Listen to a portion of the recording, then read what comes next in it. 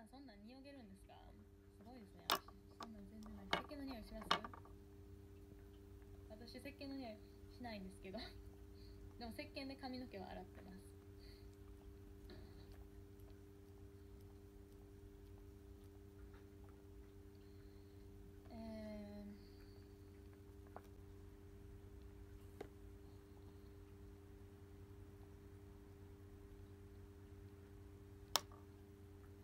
さんも同じく石鹸の匂いですか？イスラム教の男の人って7人まで妻と結婚できて女の人はできひんのとかなんで生理の時はこうなんとかなんで豚を食べたらあかんのとかもめちゃくちゃ私めっちゃ質問してしまうんですよね。すごい興味あるんで。